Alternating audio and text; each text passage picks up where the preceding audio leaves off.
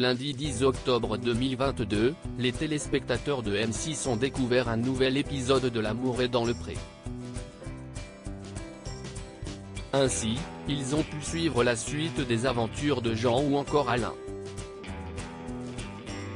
À l'issue de la diffusion, les internautes les plus impatients ont pu visionner en avant-première le prochain épisode sur Salto. L'occasion de retrouver Guillaume, éleveur de vaches allaitantes de 28 ans. Lors d'un tête-à-tête avec l'une de ses prétendantes, il en a appris plus sur son passé. À l'issue du speed dating, l'agriculteur a fait venir chez lui Margot, 22 ans, étudiante en psychologie et Noémie, secrétaire de mairie de 28 ans.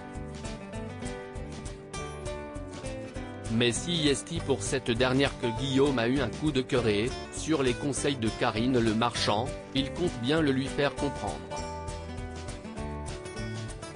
Après le petit déjeuner, il a donc emmené la charmante brune avec lui au poulailler et en a profité pour avoir une petite discussion. Il lui a demandé pour quelle raison elle était bien plus réservée que sa rivale, avec laquelle elle s'entend très bien. Noémie a donc avoué qu'elle ne voulait pas la blesser. La jeune femme a également expliqué qu'à l'origine, elle n'était pas non plus extravertie. À la base je suis timide comme fille, a-t-elle assuré. Guillaume a ensuite confié qu'il ne comprenait pas pour quelle raison une fille aussi jolie que Noémie était célibataire.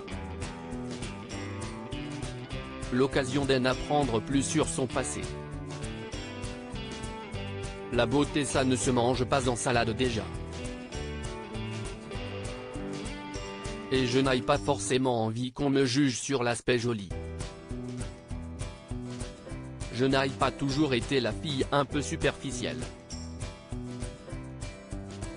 D'ailleurs je ne le suis toujours pas, si est toujours un aspect que je donne. Avant j'avais 30 kilos de plus, donc forcément l'amour propre ce n'était pas la même chose. Et si je n'aille pas trouver, si est que je ne devais pas trouver? Je fais confiance au destin, a-t-elle révélé. Des confidences qui ont certainement touché en plein cœur le candidat qui avait déjà une préférence pour la jeune femme. Alors, vont-ils concrétiser leur attirance? Réponse bientôt.